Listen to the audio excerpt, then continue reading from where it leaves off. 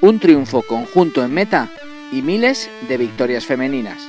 La segunda edición de la carrera 10 Cafem volvía a ser un reto conseguido para muchas mujeres y una fiesta deportiva para celebrar el Día Internacional de la Mujer a golpe de zancada.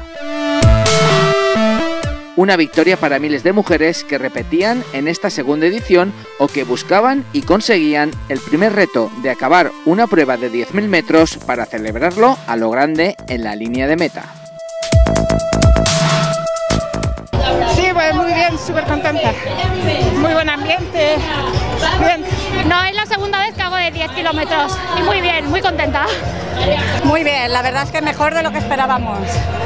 Para lo poco que entrenamos, muy bien.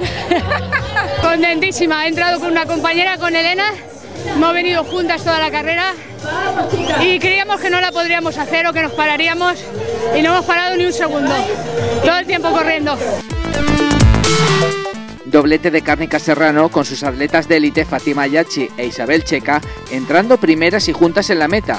Un doble triunfo femenino con un tiempo de 36 minutos y 11 segundos en un día donde poco importaba el crono. Pues sí, hoy la verdad que era un día para disfrutar, hoy era un día de la mujer y la verdad que hemos disfrutado mucho, tanto Fatima como yo, y esperamos el año que viene volver a repetirlo. Sí, como dice mi amiga, es, hoy el Día de las Mujeres, tenemos que disfrutar con las chicas y, estamos muy contentas de, de esta carrera.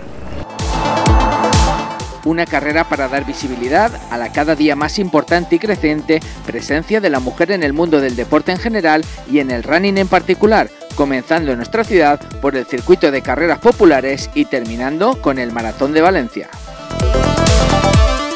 Así es, estamos celebrando el Día de la Mujer Deportista, 2.000 mujeres corriendo en una apuesta fuerte que ha hecho nosotras deportistas con la colaboración de la Fundación Deportiva Municipal por tener en este recorrido un recorrido más urbano, salir del río para ganar en visibilidad y tener un buen circuito. Yo creo que hemos disfrutado todos y las mujeres hemos ganado la carrera.